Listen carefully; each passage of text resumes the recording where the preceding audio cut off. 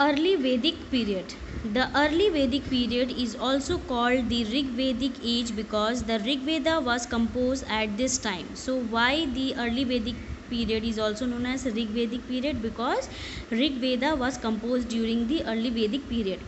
It is the most reliable source of information on the early Vedic period. So, with the help of Rig Veda, we got the most of the information about the early Vedic period. In this period, people were basically semi-nomadic. They moved from one place to the another in search of fertile agrarian ground. So, in this period, they were nomadic. That means they used to move from one place to the other place so that they can get a fertile place where they can do agriculture. Okay, and the and where they can raise their cattles. Good to know the early Vedic period, uh, people were unable to write down hymns as they were not aware of of any forms of writing. So in the early Vedic period they don't know how to read or you can say how to write the hymns because they don't know how to write. So, for many centuries, these hymns continued to be recited orally and were passed from one generation to another. So, as they don't know how to write, so they used to transfer these hymns. That means the different types of verses orally, and they used to transfer from one generation to another. Much later, Vedic literature was composed in Vedic Sanskrit, a language quite different from the Sanskrit we know today. So, much later, the these hymns were were written in the Sanskrit language and it was quite different from the Sanskrit which we learn or which we know today. They rear farm animals uh, for milk, meat, hide, etc. So they used to uh, uh, you can say look after the animals why so, so that they can get milk meat and hide as the size of their families steadily grow they finally settled down at one place as farmers. So as the families of the Aryans they started growing rapidly. So that's why they started settling down at one place as a farmer. so they were the farmers. Geographical extent the Rigvedic hymns inform us about the major Aryan settlement in India during the early Vedic period. So with the help of Rig Veda, we came to know that what are the different types of areas which were under the Aryan settlement. These include the land along the western tributaries of the Indus, okay, the Gomati that is present day Gomal, the Kurumu that is modern Kurram and the Kubha modern day Kabul. So these were the reasons which were included uh, outside our India. Okay.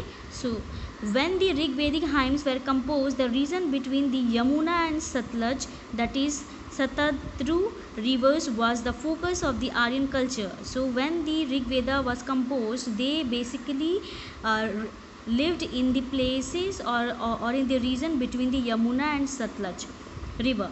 The region along the upper course of the river Saraswati was another important region of the early Aryan settlement mentioned in the Rig Veda. So in the Rig Veda we came to know that the rivers or you can say the region that is upper course of the river Saraswati was another important reason for the Aryan settlement.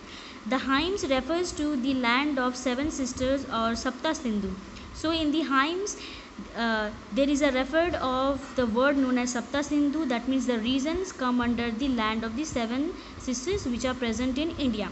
These rivers probably represent the Indus and its tributaries. So these river that means the land of seven rivers it probably represent the Indus and its tributaries. So these are the different types of areas where the Aryan had settled. Family and kingship in the early Vedic period, family was referred to a griha. So, during the early Vedic period, family was known as the griha. It probably existed as a large joint unit. So, during those time, joint family system was prevalent.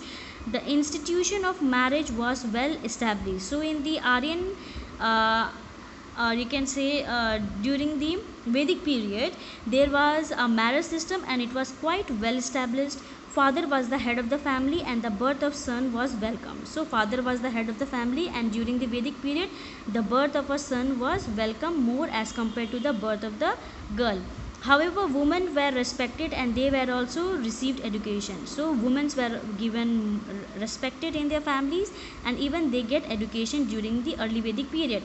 Gargi Maitreyi, Lopamudra and Ghosha were some of the well-known women scholar from this period. So these are the some of the name of the women scholar who were very famous during the early Vedic period. Remember the name of these women. Social life. The Aryans live in village called Grama. So the Aryans they used to live in villages and the and during the early Vedic period the villages were known as Grama. Each village consists of a number of families. So each village consists of the number of families. A joint family was the smallest social unit. So a joint family was the smallest form of unit. It was headed by the senior most male member. So who was the head of the joint family? It was the senior most male member. Women had a position of respect in the society. So women were given respect in the society and they could attend assemblies and offer prayers. So even women were given, uh, uh, you can say, chance to attend the different types of assemblies and offer prayers in the temples. The Varna system was character, uh, characteristic feature of the Vedic system. So there was a varna system which was very famous in the vedic system. The term varna basically means color of the skin. So during the early vedic period the society was divided on the basis of color. That means uh, skin discrimination was prevalent in the early vedic period.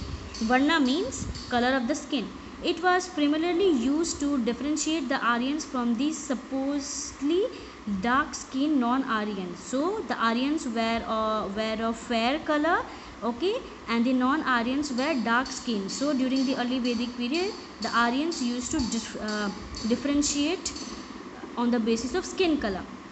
Subsequently the term came to be used for us for a social class. So with the help of the color of the skin that is the Varna system now they started dividing their social class on the basis of skin color.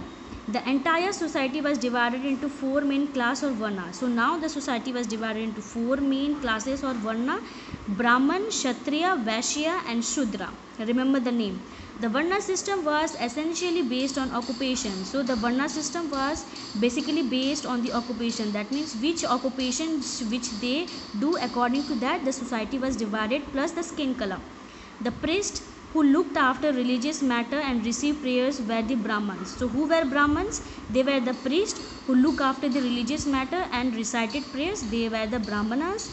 The Kshatriyas were warriors who protected the tribes from external uh, danger. Who were Kshatriyas? They were the soldiers and their main work was to protect the tribe from external dangers or external enemies.